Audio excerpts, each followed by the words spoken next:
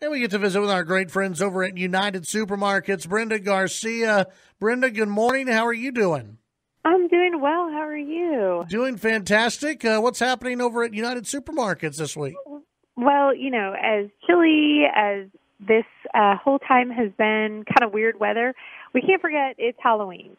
Um, so maybe that's the spooky thing is our weather right now. uh, so we'll leave it at that. But let's talk about some um, treats you know, who knows what it's going to be or how it will be. And so, whether you're enjoying your Halloween candy, maybe you uh, have a little left after Halloween. The great thing about the Halloween candy that we usually buy is the portion sizes. The trick is not to sit down with the whole bowl and finish it off, right? Because right? it tastes so yummy.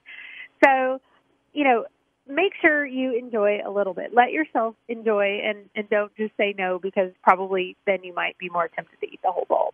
Also maybe think about don't forget to eat a meal with it or create your own maybe like a charcuterie board with it. So have other things there. Maybe have some cheeses and some fruit, um, some veggies there, and then have a few of those um, that you might enjoy or look forward to, or let yourself have one uh, a day because thing about Halloween is it's all great leading up to it, but then you usually have lots of candy afterwards.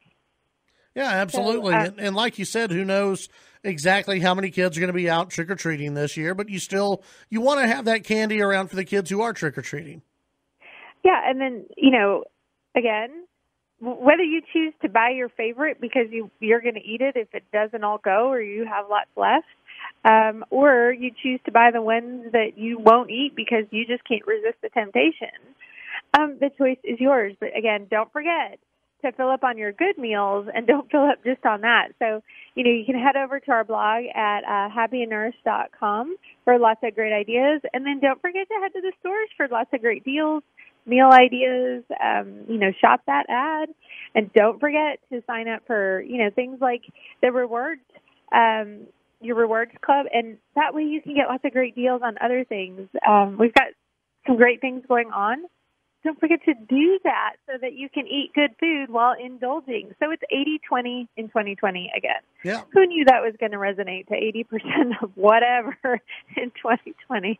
But in our world, in my world, it's 80% of the time eat as you should. Eat good food, good fuel for your body, and then 20% of the time let yourself indulge. Yeah, absolutely. Brenda, as always, appreciate your time, and uh, we'll talk to you again next week.